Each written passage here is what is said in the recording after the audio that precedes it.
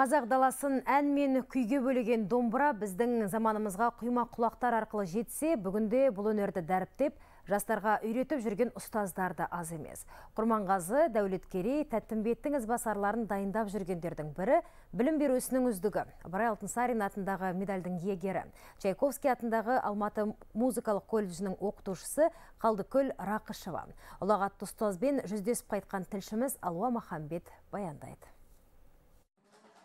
пернені дұрыс басу білезік буынды ырғақты қимылдату сынды оқу жаттығулары білім беру ісінің үздігі қалдыгүл рақышеваның жетік меңгерген тәсілдері. Әлем жұртшылығына қазақтың төл өнерін домбыраның сиқырлы үнімен жеткізіп жүрген талай дарынды жастарды тәрбиелеген осындай ұстаздар. Қазақ даласы ән салып тұрады демекші. Шынын дұрыс айтасыз әрбір қазақтың баласы жаңағы бейім музыкаға бейім.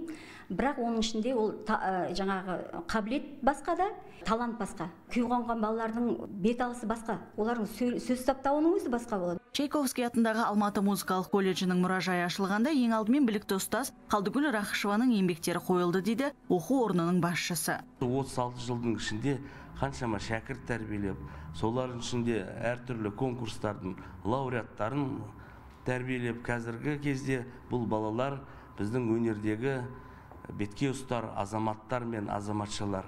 Сондықтан бұндай кісілер бізде, біздер үшін біз үшін нағыз тірек болып тұратын нағыз тұлғалар. Ұлағатты ұстаз домбыра күніне орай шәкірттермен кездесіп домбыраның құлағында бірге ойнады.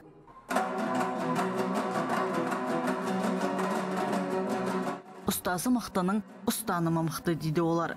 Конкурсқа кетіп бара жатқанда шегім тиегім бәрі бар енді домбырам бүтін алып бара жатқан. Сонда қалдыгүл апайым айтты тағы да шек пен тиекті салып берді өзі мынаны алып ал мұрат керек болады деп. Сонда конкурсқа бара жатқан кезде әртүрлі жағдай бар ғой. Жаңағы шегім үзілді жолда.